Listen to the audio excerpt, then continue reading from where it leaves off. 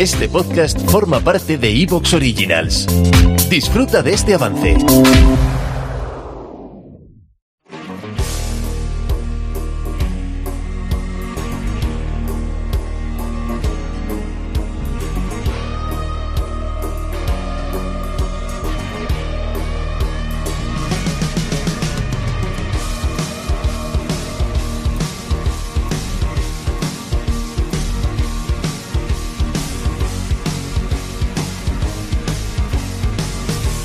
Hola amigos, hola amigas, bienvenidos una semana más a nuestra cita en estos días extraños.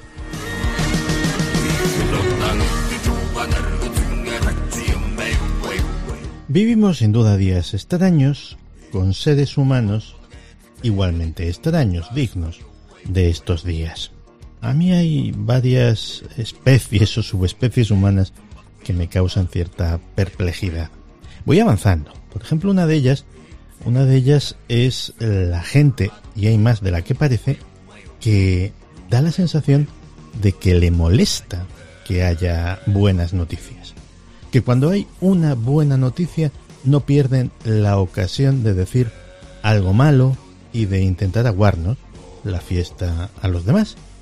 Este tipo de gente te la puedes encontrar y mucho en las redes sociales, pero también te la vas a encontrar en la vida real. Ya sabes, es esa gente que no dudará en decirte que si te alegras por una buena noticia, eres un inocente, un iluso, un ingenuo, porque ellos conocen la verdad verdadera y la verdad verdadera es que el mundo es asqueroso.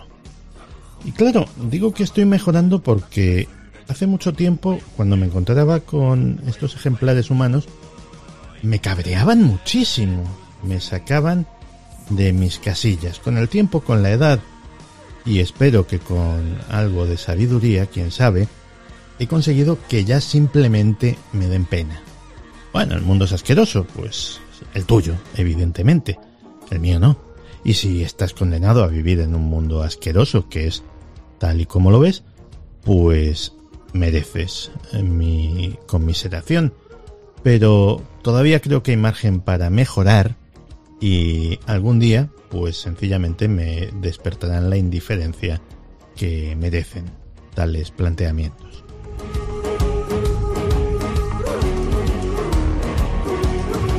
Y, y otra especie o subespecie humana que me llama mucho la atención son aquellos que aparentan o dicen que quieren atraer más y más gente a su causa, que quieren que se les unan otras personas y parece que actúan de forma que lo que pretenden es todo lo contrario.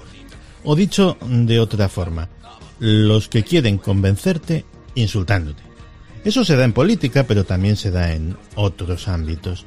Veamos, si yo soy, pongamos por caso, feminista, ateo, patriota o liberal o lo que se os ocurra, pues a los que son igualmente o feministas o ateos o patriotas o liberales, tanto como lo sea yo, no tengo que convencerles absolutamente de nada.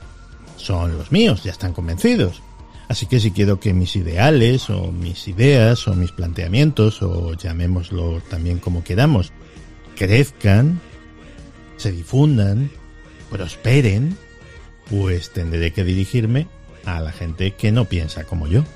Convencerla, seducirla, con un poco de suerte, hacerla recapacitar y que se replantee sus ideas y con mucha suerte que algún día cambie de opinión.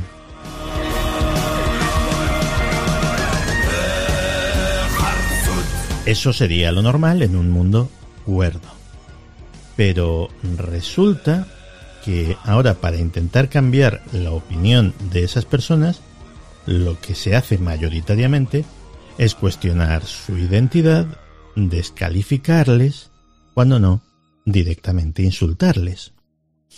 No sé yo, como táctica, qué valoración merece. Bueno, sí lo sé. Pobre, pobrísima. Porque la experiencia me indica que si quieres perder amigos y alejar a la gente de ti, el camino más fácil es atacar su identidad. No puedes convertir a las personas a tu causa atacando su identidad. Bueno, pues esto se hace a diario. Lo cual me indica que no se trata de convencer a nadie, sino de enardecer a los ya convencidos, lo cual también, como táctica, es pobre, o más que pobre, estéril, porque ninguna causa sale adelante simplemente con el aplauso de los ya convencidos. Pero oye, en lugar de construir una conexión real con las personas que estamos tratando de ganarnos, que se puede, es difícil, pero se puede, no, vamos y les damos un puñetazo en todo el estómago. Pues muy bien, así estamos haciendo la sociedad que estamos haciendo. Mira, tú tienes tus ideas, yo tengo las mías, y normalmente pues las defendemos.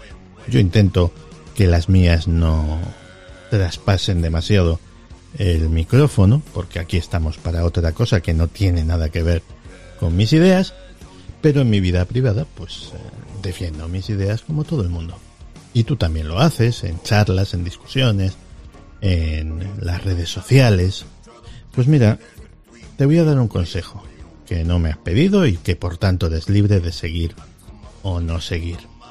Pero por el bien de tu causa, sea la que sea, cuando la defiendas, en vez de dibujar un círculo pequeño que os incluya a ti y a los tuyos y excluya a los demás, intenta dibujar un círculo más grande para incluir sobre todo a esas personas con las que estás hablando o delante de las que estás defendiendo tus ideas.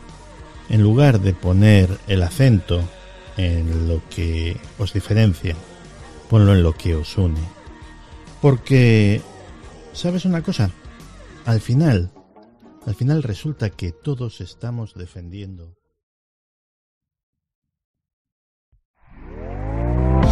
¿Te está gustando lo que escuchas?